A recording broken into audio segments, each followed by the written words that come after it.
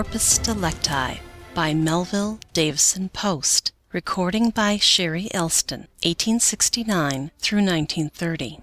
Melville Davisson Post. Introduction to the Corpus Delicti. The high ground of the field of crime has not been explored. It has not even been entered. The bookstalls have been filled to weariness with tales based upon plans whereby the detective or ferreting power of the state might be baffled. But prodigious marvel! No writer has attempted to construct tales based upon plans whereby the punishing power of the state might be baffled. The distinction, if one pauses for a moment to consider it, is striking. It is possible, even easy, deliberately to plan crimes so that the criminal agent and the criminal agency cannot be detected. Is it possible to plan and execute wrongs in such a manner that they will have all the effect and all the resulting profit of desperate crimes and yet not be crimes before the law? We are prone to forget that the law is no perfect structure, that it is simply the result of human labor and human genius, and that whatever laws human ingenuity can create for the protection of men, those same laws human ingenuity can evade. The spirit of evil is no dwarf. He has developed equally with the spirit of good. All wrongs are not crimes. Indeed, only those wrongs are crimes in which certain technical elements are present. The law provides a Procrustean standard for all crimes. Thus, a wrong to become criminal must fit exactly into the measure laid down by the law, else it is no crime. If it varies never so little from the legal measure, the law must, and will, refuse to regard it as criminal, no matter how injurious a wrong it may be. There is no measure of morality, or equity, or common right that can be applied to the individual case. The gauge of the law is iron bound. The wrong measured by this gauge is either a crime or it is not. There is no middle ground. Hence is it that if one knows well the technicalities of the law, one may commit horrible wrongs that will yield all the gain and all the resulting effect of the highest crimes, and yet the wrongs perpetrated will constitute no one of the crimes described by the law. Thus the highest crimes, even murder, may be committed in such a manner that although the criminal is known and the law holds him in custody, yet it cannot punish him. So it happens that in this year of our Lord of the nineteenth century, the skillful attorney marvels at the stupidity of the rogue who, committing crimes by the ordinary methods, subjects himself to unnecessary peril, when the result which he seeks can easily be attained by other methods, equally expeditious, and without danger of liability in any criminal tribunal. This is the field into which the author has ventured, and he believes it to be new and full of interest. It may be objected that the writer has prepared here a textbook for the shrewd knave. To this it is answered that if he instructs the enemies, he also warns the friends of law and order, and that evil has never yet been stronger because the sun shone on it. The Corpus Delicti, Part 1 That man Mason, said Samuel Walcott, is the mysterious member of this club. He is more than that. He is the mysterious man of New York. I was much surprised to see him, answered his companion, Marshall St. Clair, of the great law firm of Seward, St. Clair, and Demuth. I had lost track of him since he went to Paris as counsel for the American stockholders of the Canal Company. When did he come back to the States?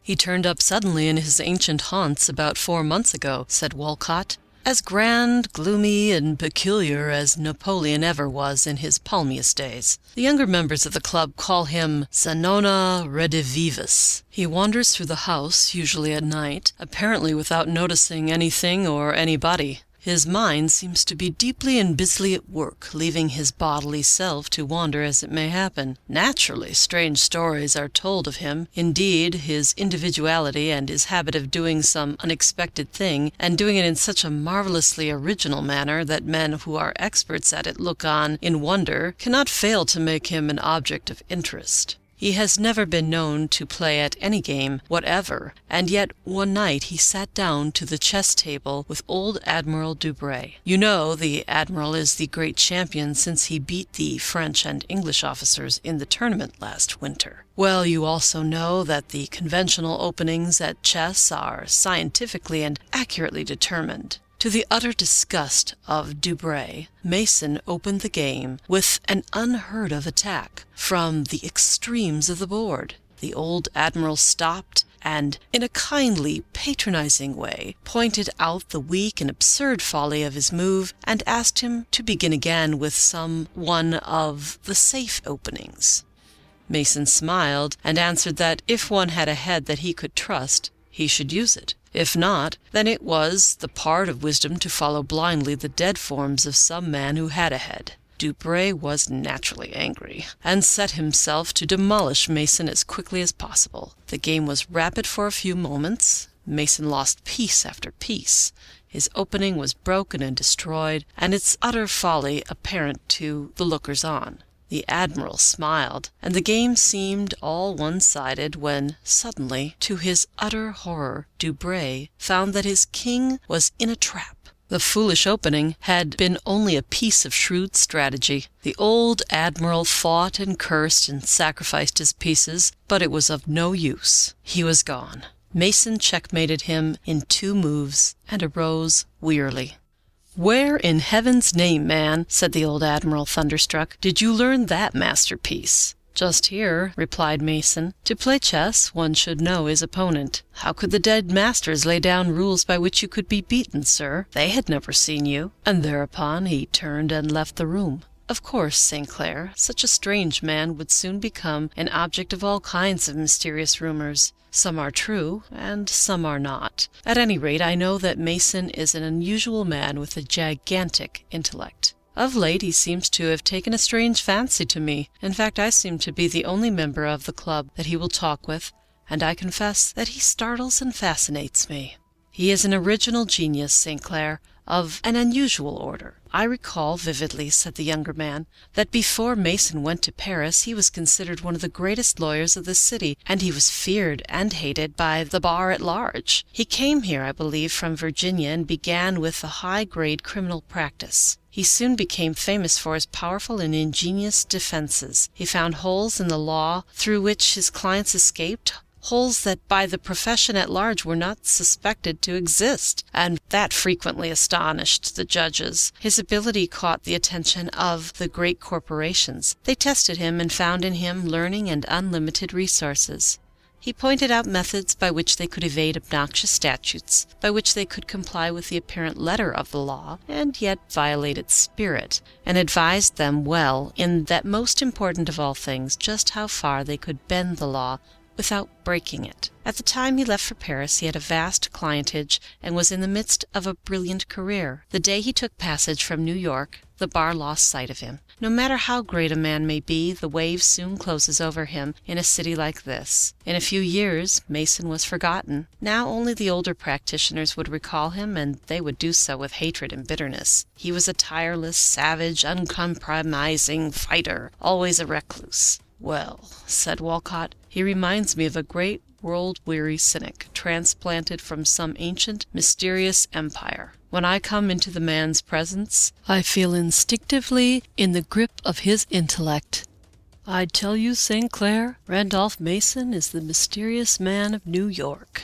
At this moment a messenger boy came into the room and handed Mr. Walcott a telegram. "St. Clair," said that gentleman, rising, "the directors of the Elevated are in session, and we must hurry." The two men put on their coats and left the house. Samuel Walcott was not a club man after the manner of the smart set, and yet he was in fact a club man. He was a bachelor in the latter thirties, and resided in a great silent house on the Avenue. On the street he was a man of substance, shrewd and progressive, backed by great wealth. He had various corporate interests in the larger syndicates, but the basis and foundation of his fortune was real estate. His houses on the Avenue were the best possible property, and his elevator row in the Importers' Quarter was indeed a literal gold mine. It was known that many years before his grandfather had died and left him the property, which at that time was of no great value. Young Walcott had gone out into the gold fields and had been lost sight of and forgotten. Ten years afterwards he had turned up suddenly in New York and taken possession of his property, then vastly increased in value. His speculations were almost phenomenally successful, and backed by the now enormous value of his real property, he was soon on a level with the merchant princes. His judgment was considered sound, and he had the full confidence of his business associates for safety and caution. Fortune heaped up riches around him with a lavish hand. He was unmarried, and the halo of his wealth caught the keen eye of the matron with marriageable daughters. He was invited out, caught by the whirl of society and tossed into its maelstrom. In a measure he reciprocated. He kept horses and a yacht. His dinners at Delmonico's and the club were above reproach. But withal he was a silent man with a shadow deep in his eyes, and seemed to court the society of his fellows, not because he loved them, but because he either hated or feared solitude. For years the strategy of the matchmaker had gone gracefully afield. But fate is relentless. If she shields the victim from the traps of men, it is not because she wishes him to escape, but because she is pleased to reserve him for her own trap. So it happened that when Virginia St. Clair assisted Mrs. Miriam Steuvisant at her midwinter reception, this same Samuel Walcott fell deeply and hopelessly and utterly in love and it was so apparent to the beaten generals present that Mrs. Miriam Steuvisant applauded herself, so to speak, with encore after encore. It was good to see this courteous, silent man literally at the feet of the young debutante. He was there of right. Even the mothers of marriageable daughters admitted that. The young girl was brown haired, brown eyed, and tall enough, said the experts, and of the blue blood royal with all the grace, courtesy, and inbred genius of such princely heritage. Perhaps it was objected by the censors of the smart set that Miss St. Clair's frankness and honesty were a trifle old fashioned, and that she was a shadowy bit of a Puritan. And perhaps it was of these same qualities that Samuel Walcott received his hurt. At any rate, the hurt was there and deep, and the new actor stepped up into the old time worn semi tragic drama, and began his role with a tireless, utter sincerity that was deadly dangerous if he lost. Perhaps a week after the conversation between St. Clair and Walcott, Randolph Mason stood in the private waiting room of the club with his hands behind his back. He was a man apparently in the middle forties, tall and reasonably broad across the shoulders, muscular without being either stout or lean, his hair was thin and of a brown color with erratic streaks of gray. His forehead was broad and high and of a faint reddish color. His eyes were restless inky black and not over large. The nose was big and muscular and bowed. The eyebrows were black and heavy, almost bushy. There were heavy furrows running from the nose downward and outward to the corners of the mouth. The mouth was straight and the jaw was heavy and square. Looking at the face of Randolph Mason from above, the expression in repose was crafty and cynical. Viewed from below upward, it was savage and vindictive, almost brutal. While from the front, if looked squarely in the face, the stranger was fascinated by the animation of the man and at once concluded that his expression was fearless and sneering. He was evidently of Southern extraction and a man of unusual power. A fire smoldered on the hearth. It was a crisp evening in the early fall, and with that far off touch of melancholy which ever heralds the coming winter, even in the midst of a city. The man's face looked tired and ugly. His long white hands were clasped tight together. His entire figure and face wore every mark of weakness and physical exhaustion. But his eyes contradicted. They were red and restless. In the private dining room the dinner party was in the best of spirits. Samuel Walcott was happy. Across the table from him was Miss Virginia St. Clair, radiant, a tinge of color in her cheeks. On either side Miss Miriam Steuvisant and Marshall St. Clair were brilliant and light hearted. Walcott looked at the young girl, and the measure of his worship was full. He wondered for the thousandth time how she could possibly love him, and by what earthly miracle she had come to accept him, and how it would be to always have her across the table from him. His own table, in his own house. They were about to rise from the table when one of the waiters entered the room and handed Walcott an envelope. He thrust it quickly into his pocket. In the confusion of rising, the others did not notice him, but his face was ash white and his hands trembled violently as he placed the wraps around the bewitching shoulders of Miss St. Clair. " Marshall," he said, and despite the powerful effort his voice was hollow, " you will see the ladies safely cared for. I am called to attend a grave matter." " All right, Walcott," answered the young man, with cheery good nature. " You are too serious, old man. Trot along." " The poor dear," murmured Miss Steuvisant, after Walcott had helped them to the carriage and turned to go up the steps of the club, " the poor dear is hard hit, and men are such funny creatures when they are hard hit." Samuel Walcott, as his fate would, went direct to the private writing room and opened the door. The lights were not turned on, and in the dark he did not see Mason motionless by the mantel shelf. He went quickly across the room to the writing table, turned on one of the lights, and taking the envelope from his pocket tore it open. Then he bent down by the light to read the contents. As his eyes ran over the paper his jaw fell, the skin drew away from his cheek bones, and his face seemed literally to sink in. His knees gave way under him and he would have gone down in a heap had it not been for Mason's long arms that closed around him and held him up. The human economy is ever mysterious. The moment the new danger threatened, the latent power of the man as an animal hidden away in the centers of intelligence asserted itself. His hand clutched the paper and with a half slide he turned in Mason's arms. For a moment he stared up at the ugly man whose thin arms felt like wire ropes. "You are under the deadfall, eh?" said Mason. "The cunning of my enemy is sublime." " Your enemy? " gasped Walcott. " When did you come into it? How in God's name did you know it? How your enemy? " Mason looked down at the wide, bulging eyes of the man. " Who should know better than I? " he said. " Haven't I broken through all the traps and plots that she could set? "" She? She trap you? " The man's voice was full of horror. " The old schemer," muttered Mason. " The cowardly old schemer, to strike in the back. But we can beat her. She did not count on my helping you. I, who know her so well." Mason's face was red and his eyes burned. In the midst of it all he had dropped his hands and went over to the fire. Samuel Walcott arose panting and stood looking at Mason, with his hands behind him on the table. The naturally strong nature and the rigid school in which the man had been trained presently began to tell. His composure in part returned and he thought rapidly.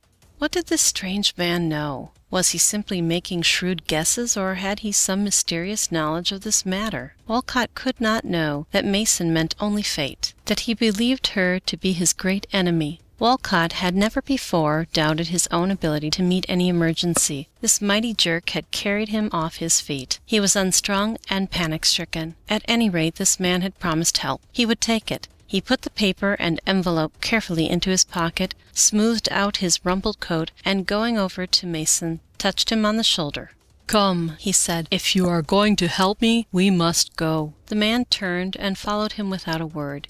In the hall Mason put on his hat and overcoat, and the two went out into the street. Walcott hailed a cab, and the two were driven to his house on the avenue. Walcott took out his latchkey, opened the door and led the way into the library. He turned on the light and motioned Mason to seat himself at the table. Then he went into another room, and presently returned with a bundle of papers and a decanter of brandy. He poured out a glass of the liquor and offered it to Mason. The man shook his head. Walcott poured the contents of the glass down his own throat.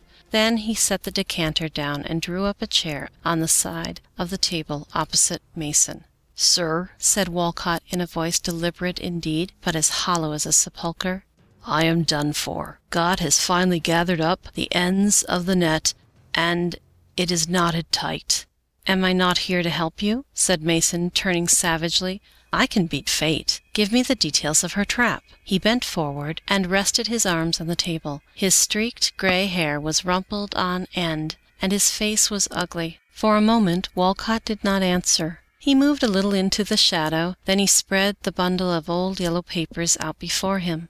To begin with," he said, " I am living a lie, a gilded, crime made sham, every bit of me. There is not an honest piece anywhere. It is all lie. I am a liar and a thief before men.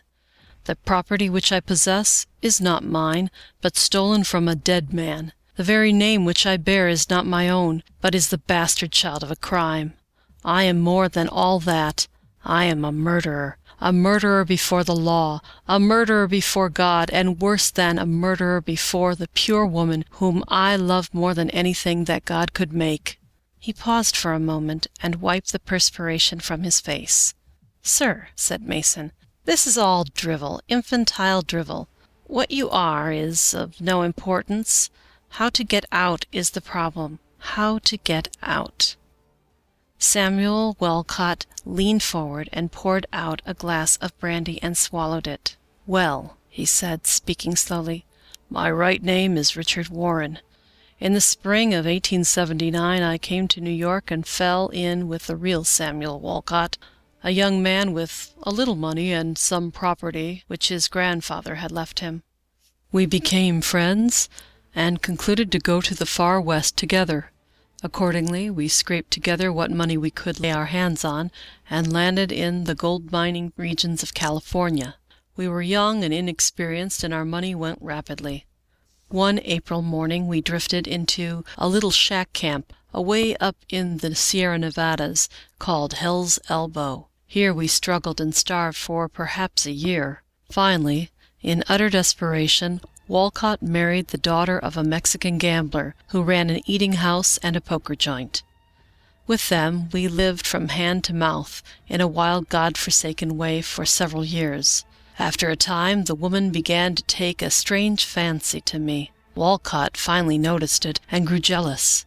One night, in a drunken brawl, we quarreled, and I killed him. It was late at night, and beside the woman there were four of us in the poker room the Mexican gambler, a half breed devil called Cherubin Pete, Walcott, and myself. When Walcott fell, the half breed whipped out his weapon and fired at me across the table, but the woman, Nina San Croix, struck his arm, and instead of killing me as he intended, the bullet mortally wounded her father, the Mexican gambler. I shot the half breed through the forehead and turned round expecting the woman to attack me. On the contrary, she pointed to the window and bade me wait for her on the cross trail below. It was fully three hours later before the woman joined me at the place indicated. She had a bag of gold dust, a few jewels that belonged to her father, and a package of papers. I asked her why she had stayed behind so long, and she replied that the men were not killed outright, and that she had brought a priest to them and waited until they had died. This was the truth, but not all the truth. Moved by superstition or foresight, the woman had induced the priest to take down the sworn statements of the two dying men, seal it, and give it to her. This paper she brought with her. All this I learned afterwards. At the time I knew nothing of this damning evidence. We struck out for the Pacific coast. The country was lawless. The privations we endured were almost past belief. At times the woman exhibited cunning and ability that were almost genius, and through it all, often in the very fingers of death, her devotion to me never wavered. It was dog like, and seemed to be her only object on earth. When we reached San Francisco the woman put these papers into my hands. Walcott took up the yellow package and pushed it across the table to Mason. She proposed that I assume Walcott's name and that we come boldly to New York and claim the property. I examined the papers, found a copy of the will by which Walcott inherited the property, a bundle of correspondence, and sufficient documentary evidence to establish his identity beyond the shadow of a doubt. Desperate gambler as I now was, I quailed before the daring plan of Nina San Croix. I urged that I, Richard Warren, would be known, that the attempted fraud would be detected and would result in investigation, and perhaps unearth the whole terrible matter. The woman pointed out how much I resemble Walcott, what vast changes ten years of such life as we had led would naturally be expected to make in men, how utterly impossible it would be to trace back the fraud to Walcott's murder at Hell's Elbow, in the wild passes of the Sierra Nevadas. She bade me remember that we were both outcasts, both crime branded, both enemies of man's law and God's, and that we had nothing to lose. We were both sunk to the bottom. Then she laughed, and she said that she had not found me a coward until now, but if I had turned chicken hearted, that was the end of it, of course. The result was we sold the gold dust and jewels in San Francisco, took on such evidences of civilization as possible, and purchased passage to New York on the best steamer we could find. I was growing to depend on the bold gambler spirit of this woman, Nina San Croix. I felt the need of her strong, profligate nature. She was of a queer breed and a queerer school. Her mother was the daughter of a Spanish engineer and had been stolen by the Mexican, her father. She herself had been raised and educated as best might be in one of the monasteries along the Rio Grande, and had there grown to womanhood before her father, fleeing into the mountains of California, carried her with him. When we landed in New York I offered to announce her as my wife, but she refused, saying that her presence would excite comment and perhaps attract the attention of Walcott's relatives. We therefore arranged that I should go alone into the city, claim the property, and announce myself as Samuel Walcott, and that she should remain under cover until such time as we would feel the ground safe under us. Every detail of the plan was fatally successful. I established my identity without difficulty and secured the property. It had increased vastly in value, and I, as Samuel Walcott, soon found myself a rich man. I went to Nina San Croix in hiding, and gave her a large sum of money, which she purchased a residence in a retired part of the city, far up in the northern suburb. Here she lived secluded and unknown while I remained in the city, living here as a wealthy bachelor. I did not attempt to abandon the woman, but went to her from time to time in disguise and under cover of the greatest secrecy. For a time everything ran smooth. The woman was still devoted to me above everything else, and thought always of my welfare first, and seemed content to wait so long as I thought best. My business expanded. I was sought after and consulted and drawn into the higher life of New York, and more and more felt that the woman was an albatross on my neck. I put her off with one excuse after another. Finally she began to suspect me, and demanded that I should recognize her as my wife. I attempted to point out the difficulties. She met them all by saying that we should both go to Spain. There I could marry her, and we could return to America and drop into my place in society without causing more than a passing comment. I concluded to meet the matter squarely once and for all. I said that I would convert half of the property into money and give it to her, but that I would not marry her. She did not fly into a storming rage as I had expected, but went quietly out of the room, and presently returned with two papers, which she read. One was the certificate of her marriage to Walcott duly authenticated. The other was the dying statement of her father, the Mexican gambler, and of Samuel Walcott charging me with murder. It was in proper form and certified by the Jesuit priest. "Now," she said sweetly when she had finished, "which do you prefer? To recognize your wife, or to turn all the property over to Samuel Walcott's widow and hang for his murder?" I was dumbfounded and horrified. I saw the trap that I was in, and I consented to do anything she should say if she would only destroy the papers. This she refused to do. I pleaded with her and implored her to destroy them. Finally she gave them to me with a great show of returning confidence, and I tore them into bits and threw them into the fire. That was three months ago. We arranged to go to Spain and do as she said. She was to sail this morning and I was to follow. Of course I never intended to go. I congratulated myself on the fact that all trace of evidence against me was destroyed, and that her grip was now broken. My plan was to induce her to sail, believing that I would follow. When she was gone I would marry Miss St. Clair, and if Nina San Croix should return I would defy her and lock her up as a lunatic. But I was reckoning like an infernal ass to imagine for a moment that I could thus hoodwink such a woman as Nina San Croix. To night I received this. Walcott took the envelope from his pocket and gave it to Mason. You saw the effect of it. Read it and you will understand why. I felt the death hand when I saw her writing on the envelope." Mason took the paper from the envelope. It was written in Spanish and ran: Greeting to Richard Warren. The great Señor does his little Nina injustice to think she would go away to Spain and leave him to the beautiful American. She is not so thoughtless. Before she goes, she shall be oh so very rich, and the dear Señor shall be oh so very safe. The Archbishop and the kind Church hate murderers. Nina San Croix. Of course, fool, the papers you destroyed were copies. N. San C. To this was penned a line in a delicate aristocratic hand, saying that the Archbishop would willingly listen to Madame San Croix's statement if she would come to see him on Friday morning at eleven. "You see," said Walcott, desperately, "there is no possible way out. I know the woman. When she decides to do a thing, that is the end of it. She has decided to do this." Mason turned around from the table, stretched out his long legs, and thrust his hands deep into his pockets. Walcott sat with his head down, watching Mason hopelessly, almost indifferently, his face blank and sunken. The ticking of the bronze clock on the mantel shelf was loud, painfully loud. Suddenly Mason drew his knees in and bent over, put both his bony hands on the table, and looked at Walcott. "Sir," he said, "this matter is in such shape that there is only one thing to do.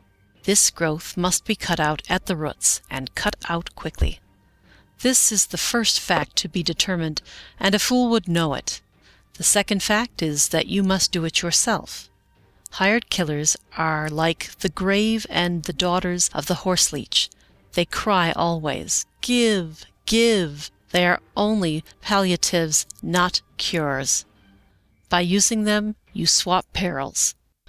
You simply take a stay of execution at best. The common criminal would know this. These are the facts of your problem.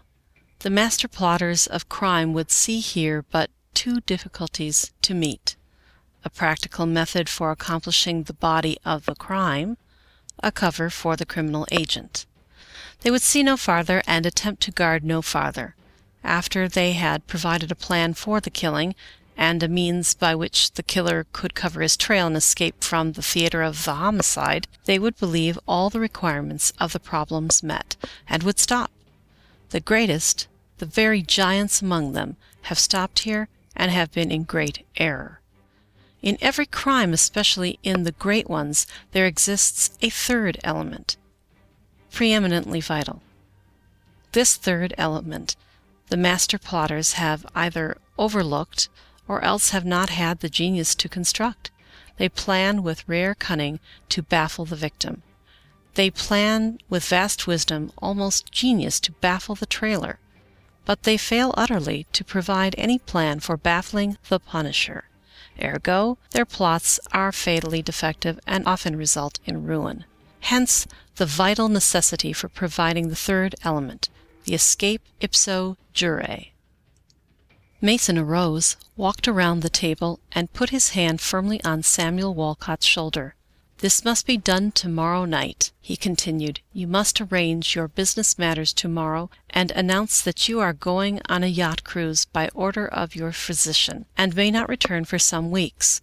You must prepare your yacht for a voyage, instruct your men to touch at a certain point on Staten Island, and wait until six o'clock day after to morrow morning. If you do not come aboard by that time, they are to go to one of the South American ports and remain until further orders. By this means your absence for an indefinite period will be explained. You will go to Nina San Croix in the disguise which you have always used and from her to the yacht, and by this means step out of your real status and back into it without leaving traces. I will come here to morrow evening and furnish you with everything that you shall need and give you full and exact instructions in every particular.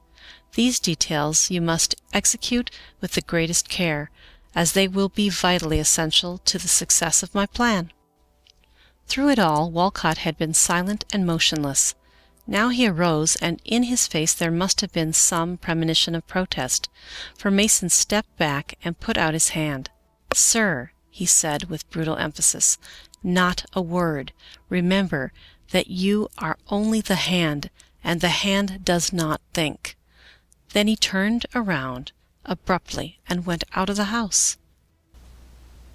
The place which Samuel Walcott had selected for the residence of Nina San Croix was far up in the northern suburb of New York. The place was very old. The lawn was large and ill kept. The house, a square old fashioned brick, was set far back from the street, and partly hidden by trees. Around it all was a rusty iron fence. The place had the air of genteel ruin such as one finds in the Virginias.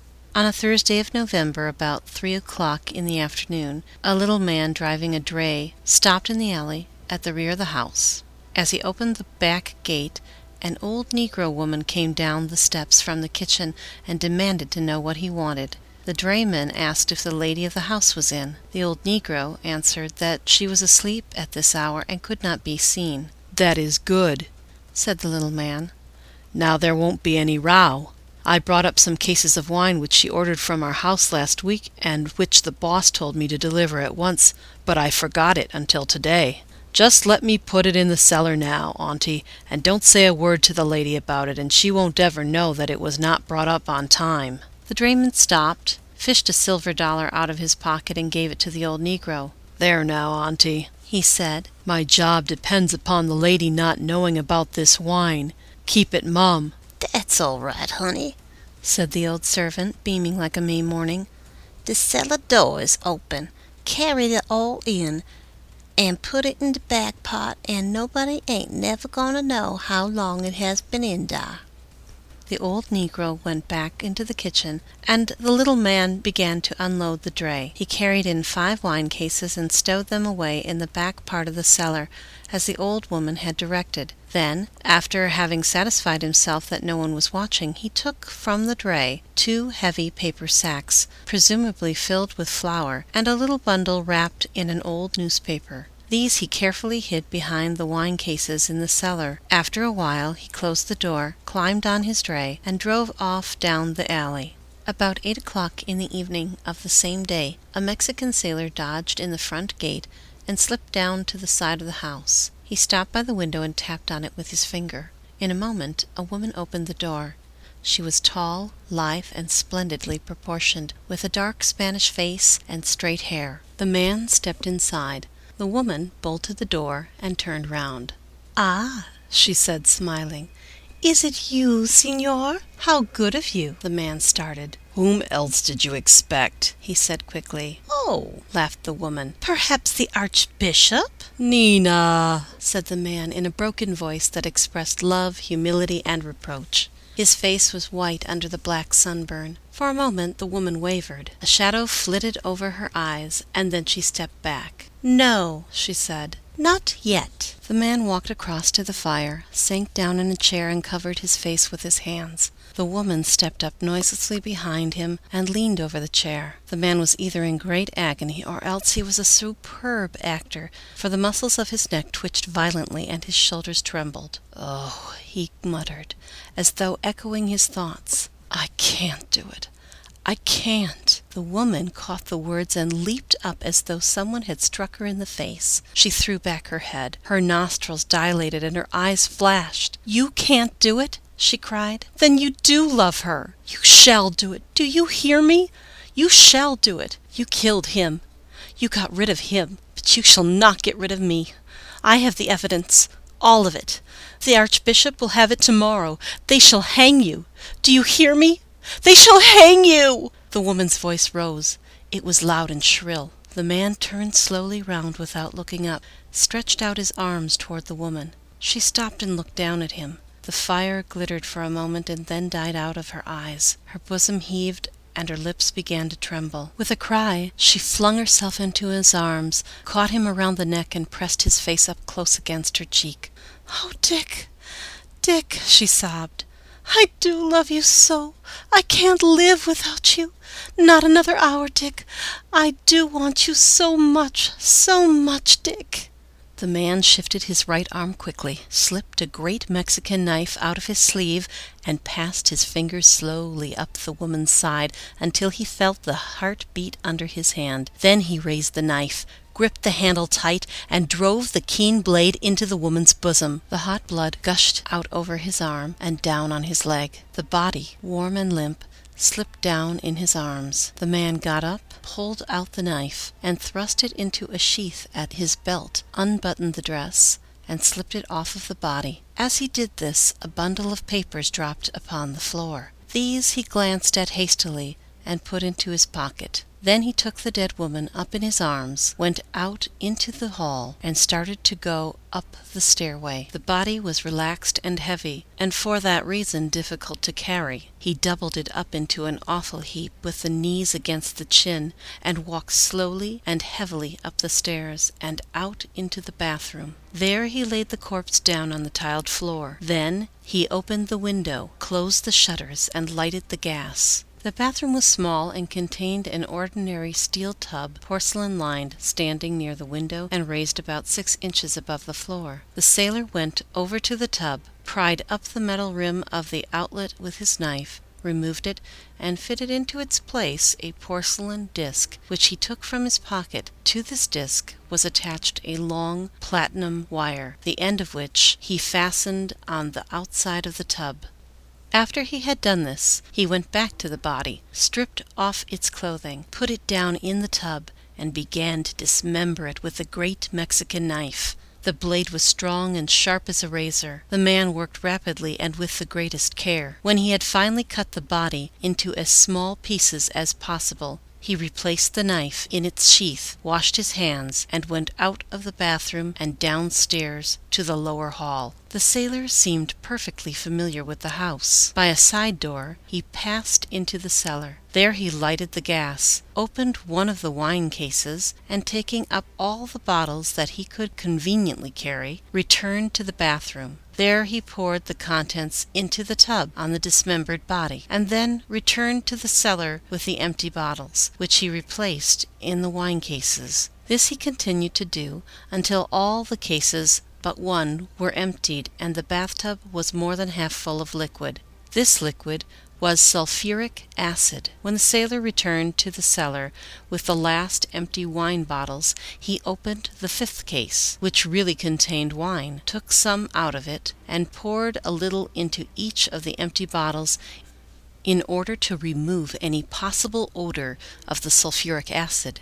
Then he turned out the gas and brought up to the bathroom with him the two paper flour sacks and the little heavy bundle. These sacks were filled with nitrate of soda. He set them down by the door, opened the little bundle, and took out two long rubber tubes, each attached to a heavy gas burner, not unlike the ordinary burners of a small gas stove. He fastened the tubes to two of the gas jets, put the burners under the tub, turned the gas on full, and lighted it.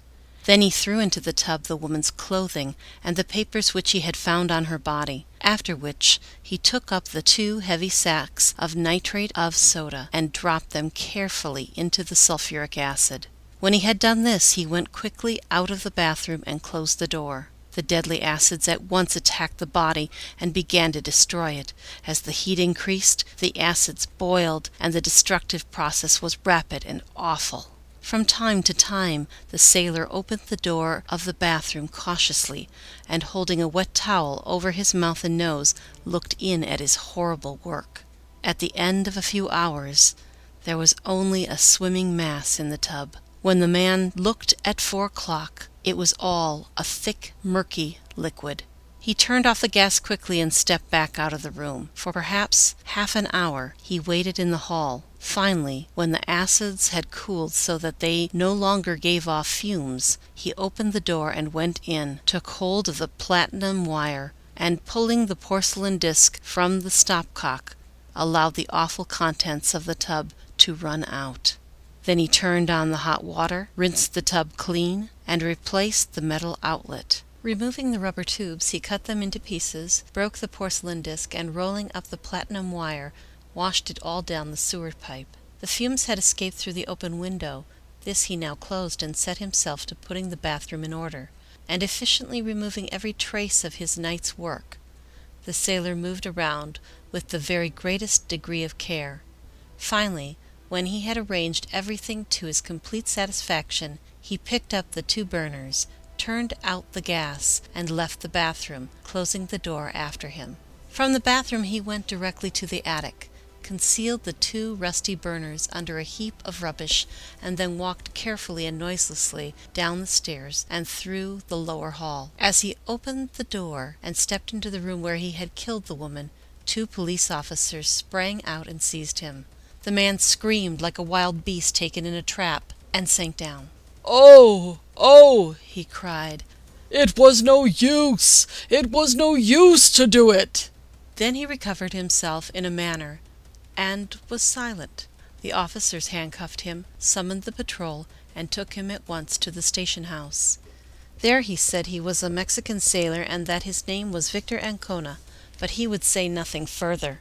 The following morning he sent for Randolph Mason, and the two were long together. The obscure defendant charged with murder has little reason to complain of the law's delays. The morning following the arrest of Victor Ancona, the newspapers published long, sensational articles, denounced him as a fiend, and convicted him.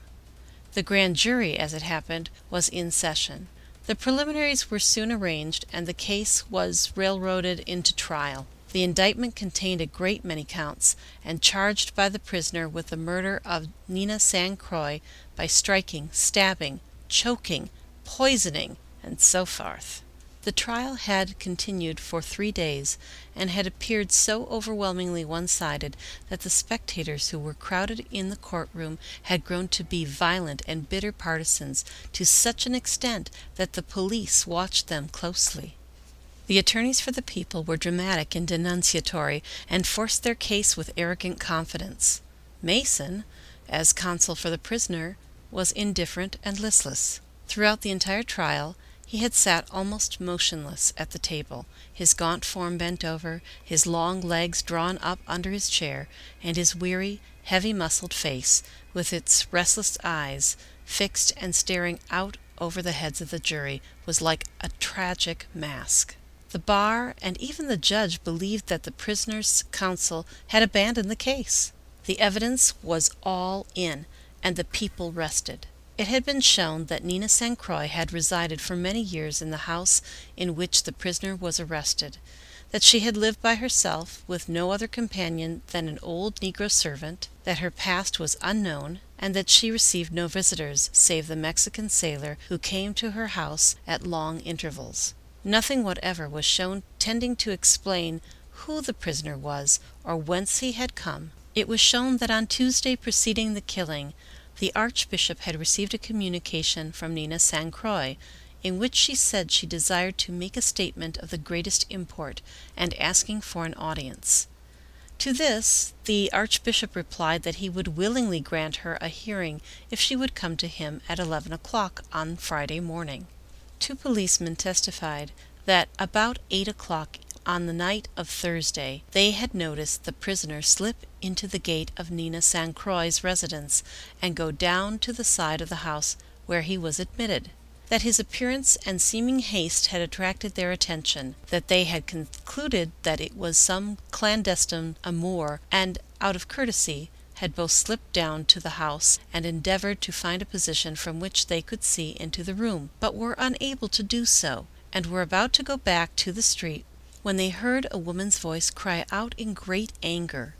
I know that you love her and that you want to get rid of me, but you shall not do it. You murdered him, but you shall not murder me. I have all the evidence to convict you of murdering him. The Archbishop will have it to-morrow. They shall hang you. Do you hear me? They shall hang you for this murder. That thereupon one of the policemen proposed that they should break into the house and see what was wrong but the other had urged that it was only the usual lovers' quarrel, and if they should interfere they would find nothing upon which a charge could be based, and would only be laughed at by the chief; that they had waited and listened for a time, but hearing nothing further, had gone back to the street and contented themselves with keeping a strict watch on the house. The people proved further that on Thursday evening Nina San Croix had given the old negro domestic a sum of money and dismissed her, with the instruction that she was not to return until sent for. The old woman testified that she had gone directly to the house of her son, and later had discovered that she had forgotten some articles of clothing which she needed; that thereupon she had returned to the house and had gone up the back way to her room. This was about eight o'clock; that while there she had heard Nina San Croix's voice in great passion, and remembered that she had used the words stated by the policeman that these sudden, violent cries had frightened her greatly, and she had bolted the door and been afraid to leave the room. Shortly thereafter she had heard heavy footsteps ascending the stairs, slowly and with great difficulty, as though some one were carrying a heavy burden; that therefore her fear had increased, and that she had put out the light and hidden under the bed. She remembered hearing the footsteps moving about upstairs for many hours. How long she could not tell. Finally, about half past four in the morning, she crept out, opened the door, slipped downstairs, and ran out into the street. There she had found the policemen and requested them to search the house. The two officers had gone to the house with the woman. She had opened the door, and they had just time to step back into the shadow when the prisoner entered. When arrested, Victor Ancona had screamed with terror and cried out, It was no use! It was no use to do it! The chief of police had come to the house and instituted a careful search. In the room below, from which the cries had come, he found a dress which was identified as belonging to Nina San Croix, and which she was wearing when last seen by the domestic, about six o'clock that evening. This dress was covered with blood and had a slit about two inches long in the left side of the bosom, into which the Mexican knife found on the prisoner fitted perfectly. These articles were introduced in evidence, and it was shown that the slit would be exactly over the heart of the wearer, and that such a wound would certainly result in death. There was much blood on one of the chairs and on the floor. There was also blood on the prisoner's coat and the leg of his trousers, and the heavy Mexican knife was also bloody. The blood was shown by the experts to be human blood. The body of the woman was not found, and the most rigid and tireless search failed to develop the slightest trace of the corpse, or the manner of its disposal. The body of the woman had disappeared as completely as though it had vanished into the air. When counsel announced that he had closed for the people, the judge turned and looked gravely down at Mason. "Sir," he said, "the evidence for the defense may now be introduced." Randolph Mason arose slowly and face the judge. "If your Honor please," he said, speaking slowly and distinctly, "the defendant has no evidence to offer." He paused, while a murmur of astonishment ran over the court room. "But if your Honor please," he continued, "I move that the jury be directed to find the prisoner not guilty." The crowd stirred. The counsel for the people smiled. The judge looked sharply at the speaker over his glasses. "On what ground?" he said curtly. "On the ground," replied Mason, "that the corpus delicti has not been proven." "Ah!" said the judge, for once losing his judicial gravity. Mason sat down abruptly. The senior counsel for the prosecution was on his feet in a moment. "What!" He said, "the gentleman bases his motion on a failure to establish the corpus delicti? Does he jest, or has he forgotten the evidence? The term corpus delicti is technical and means the body of the crime, or the substantial fact that a crime has been committed. Does anyone doubt it in this case? It is true that no one actually saw the prisoner kill the decedent, and that he has so successfully hidden the body that it has not been found, but the powerful chain of circumstances, clear and close linked, proving motive, the criminal agency, and the criminal act is overwhelming. The victim in this case is on the eve of making a statement that would prove fatal to the prisoner. The night before the statement is to be made, he goes to her residence. They quarrel. Her voice is heard raised high in the greatest passion, denouncing him and charging that he is a murderer, that she has the evidence and will reveal it, that he shall be hanged, and that he shall not be rid of her. Here is the motive for the crime clear as light. Are not the bloody knife, the bloody dress, the bloody clothes of the prisoner unimpeachable witness to the criminal act? The criminal agency of the prisoner has not the shadow of a possibility to obscure it. His motive is gigantic. The blood on him and his despair when arrested cry murder, murder, with a thousand tongues. Men may lie, but circumstances cannot. The thousand hopes and fears and passions of men may delude or bias the witness, Yet it is beyond the human mind to conceive that a clear, complete chain of concatenated circumstances can be in error. Hence it is that the greatest jurists have declared that such evidence, being rarely liable to delusion or fraud, is safest and most powerful. The machinery of human justice cannot guard against the remote and improbable doubt. The inference is persistent in the affairs of men. It is the only means by which the human mind reaches truth. If you forbid the jury to exercise it, you bid them work after first striking off their hands. Rule out the irresistible inference, and the end of justice is come in this land, and you may as well leave the spider to weave his web through the abandoned courtroom. The attorney stopped, looked down at Mason with a pompous sneer, and retired to his place at the table. The judge sat thoughtful and motionless. The jurymen leaned forward in their seats. "If your Honor please," said Mason, rising, "this is a matter of law, plain, clear, and so well settled in the State of New York that even counsel for the people should know it. The question before your Honor is simple. If the corpus delicti, the body of the crime, has been proven as required by the laws of the Commonwealth, then this case should go to the jury. If not, then it is the duty of this court to direct the jury to find the prisoner not guilty. There is here no room for judicial discretion. Your Honor has but to recall and apply the rigid rule announced by our courts prescribing distinctly how the corpus delicti in murder must be proven. The prisoner here stands charged with the highest crime. The law demands first that the crime, as a fact, be established. The fact that the victim is indeed dead must first be made certain before anyone can be convicted for her killing, because, so long as there remains the remotest doubt as to the death, there can be no certainty as to the criminal agent although the circumstantial evidence indicating the guilt of the accused may be positive, complete, and utterly irresistible. In murder, the corpus delicti, or body of the crime, is composed of two elements death as a result the criminal agency of another as the means. It is the fixed and immutable law of this State laid down in the leading case of Ruloff v. the People, and binding upon this Court, that both components of the corpus delicti shall not be established by circumstantial evidence. There must be direct proof of one or the other of these two component elements of the corpus delicti. If one is proven by direct evidence, the other may be presumed, but both shall not be presumed from circumstances, no matter how powerful, how cogent, or how completely overwhelming the circumstances may be. In other words, no man can be convicted of murder in the State of New York unless the body of the victim be found and identified or there be direct proof that the prisoner did some act adequate to produce death and did it in such a manner as to account for the disappearance of the body. The face of the judge cleared and grew hard. Members of the bar were attentive and alert. They were beginning to see the legal escape open up.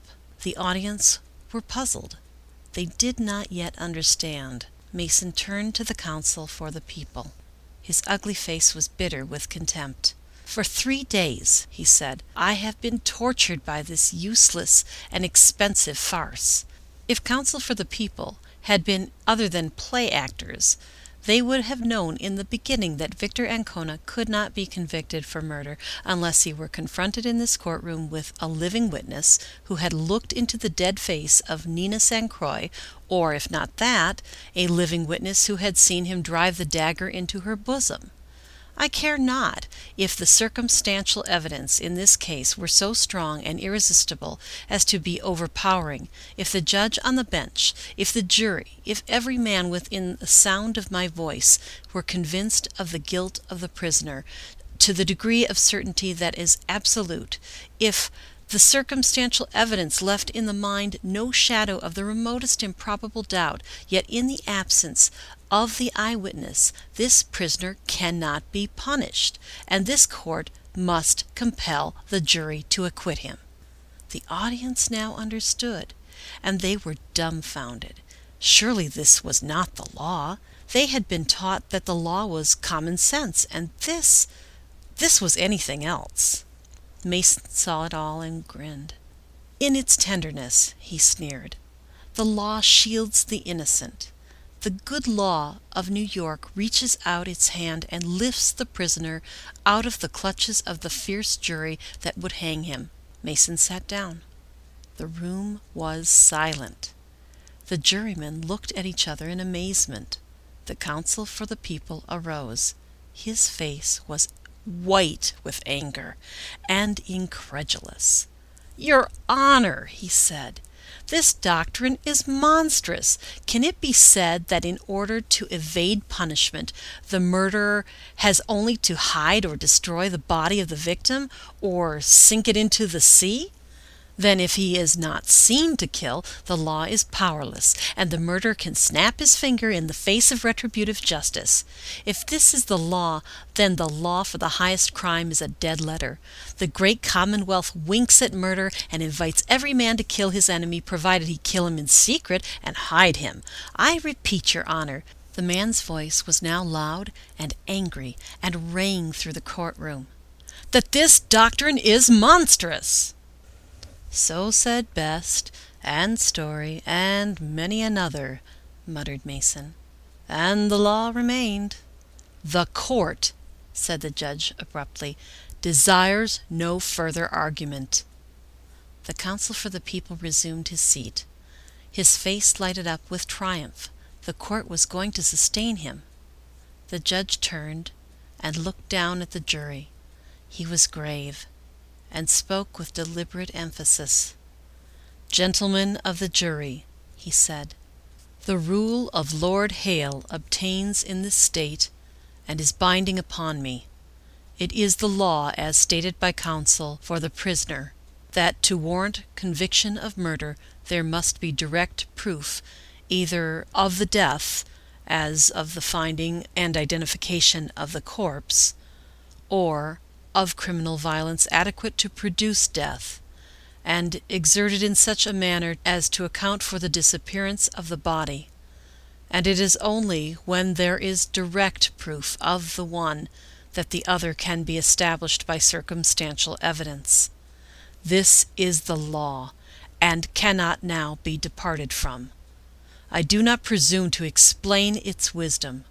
Chief Justice Johnson has observed in the leading case that it may have its probable foundation in the idea that where direct proof is absent as to both the fact of the death and of the criminal violence capable of producing death, no evidence can rise to the degree of moral certainty that the individual is dead by criminal intervention, or even led by direct inference to this result, and that where the fact of death is not certainly ascertained, all inculpatory circumstantial evidence wants the key necessary for its satisfactory interpretation, and cannot be depended on to furnish more than probable results. It may be, also, that such a rule has some reference to the dangerous possibility that a general preconception of guilt or a general excitement of popular feeling may creep in to supply the place of evidence, if upon other than direct proof of death or a cause of death a jury are permitted to pronounce a prisoner guilty.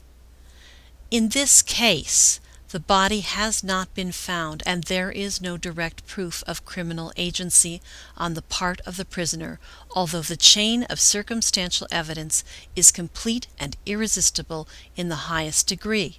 Nevertheless, it is all circumstantial evidence, and under the laws of New York the prisoner cannot be punished. I have no right of discretion. The law does not permit a conviction in this case, although every one of us may be morally certain of the prisoner's guilt. I am, therefore, gentlemen of the jury, compelled to direct you to find the prisoner not guilty." " Judge," interrupted the foreman, jumping up in the box, " we cannot find that verdict under our oath. We know that this man is guilty." " Sir," said the judge, " this is a matter of law in which the wishes of the jury cannot be considered. The clerk will write a verdict of not guilty, which you, as foreman, will sign." The spectators broke out into a threatening murmur that began to grow and gather volume. The judge rapped on his desk and ordered the bailiffs promptly to suppress any demonstration on the part of the audience. Then he directed the foreman to sign the verdict prepared by the clerk. When this was done he turned to Victor Ancona. His face was hard and there was a cold glitter in his eyes. " Prisoner at the bar," he said, " you have been put to trial before this tribunal on a charge of cold blooded and atrocious murder. The evidence produced against you was of such powerful and overwhelming character that it seems to have left no doubt in the minds of the jury, nor indeed in the mind of any person present in this court room. Had the question of your guilt been submitted to these twelve arbiters, a conviction would certainly have resulted, and the death penalty would have been imposed. But the law, rigid, passionless, even eyed, has thrust in between you and the wrath of your fellows and saved you from it. I do not cry out against the impotency of the law. It is perhaps as wise as imperfect humanity could make it. I deplore, rather, the genius of evil men who by cunning design are enabled to slip through the fingers of this law. I have no word of censure or admonition for you, Victor Ancona. The law of New York compels me to acquit you. I am only its mouthpiece, with my individual wishes throttled. I speak only those things which the law directs I shall speak. You are now at liberty to leave this courtroom, not guiltless of the crime of murder, perhaps, but at least rid of its punishment. The eyes of men may see Cain's mark on your brow, but the eyes of the law are blind to it." When the audience fully realized what the judge had said they were amazed and silent. They knew as well as men could know that Victor Ancona was guilty of murder, and yet he was now going out of the courtroom free. Could it happen that the law protected only against the blundering rogue? They had heard always of the boasted completeness of the law, which magistrates from time immemorial had labored to perfect. And now, when the skillful villain sought to evade it, they saw how weak a thing it was. The wedding march of Lohengrin floated out from the Episcopal Church of St. Mark, clear and sweet and perhaps heavy with its paradox of warning. The theater of this coming contract before high heaven was a wilderness of roses worth the taxes of a county. The high caste of Manhattan, by the grace of the check book, were present, clothed in Parisian purple and fine linen, cunningly and marvelously wrought. Over in her private pew, ablaze with jewels and decked with fabrics from the deft hand of many a weaver, sat Mrs. Miriam Steuvisant, as imperious and self complacent as a queen. To her it was all a kind of triumphal procession proclaiming her ability as a general. With her were a few of the genus homo, which obtains at the five o'clock teas instituted, say the sages, for the purpose of sprinkling the holy water of Lethe. " Czarina," whispered Reggie Du Puyster, leaning forward, I salute you. The ceremony sub jugum is superb." " Walcott is an excellent fellow," answered Mrs. Steuvisant. " Not a vice, you know, Reggie." " Aye, Empress," put in the others, " a purist taken in the net. The clean skirted one has come to the altar. Vive la vertu !" Samuel Walcott still sunburned from his cruise, stood before the chancel with the only daughter of the blue blooded St. Clairs. His face was clear and honest, and his voice firm. This was life and not romance. The lid of the sepulchre had closed, and he had slipped from under it, and now and ever after the hand red with murder was clean as any. The minister raised his voice, proclaiming the holy union before God, and this twain, half pure, half foul, now by divine ordinance one flesh, bowed down before it. No blood cried from the ground. The sunlight of high noon streamed down through the window panes like a benediction. Back in the pew of Mrs. Miriam Steuvisant, Reggie Du Puyster turned down his thumb. "Habet," he said. End of the Corpus Delicti